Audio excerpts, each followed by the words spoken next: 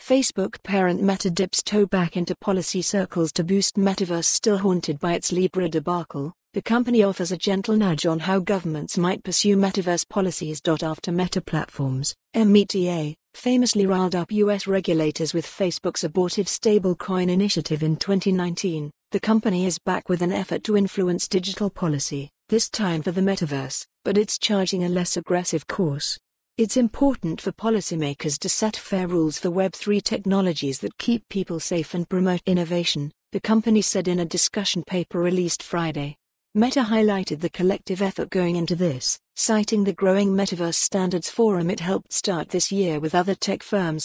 Meta hopes for an eventual interconnectability between the different global jurisdictions that will be wrestling with rules for the metaverse economy, said Edward Bowles, the company's head of fintech policy, so that someone in Meta's Horizon Worlds virtual reality offering can pick up their assets and move to another world seamlessly and back again.